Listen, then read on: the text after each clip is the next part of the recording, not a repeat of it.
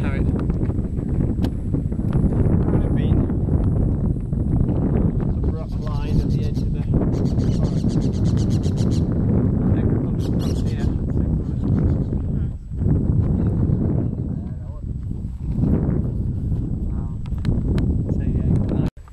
you know, 200 miles an hour uh, down the hillside, burning everything in its path.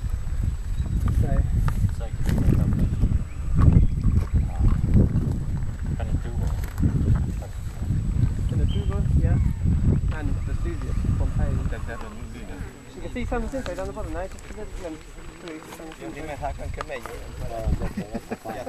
No, that's actually, uh, those are actually um, uh, cell phone masks. How's smelling? Can you smell anything? It smells there, like I rotten eggs. Sulphurous. So this is gas from the volcano. No, I think it's cloud, but I think it's cloud. But as, as we can now see that it's moving this way from the volcano, then you you might pick up a bit of a smell.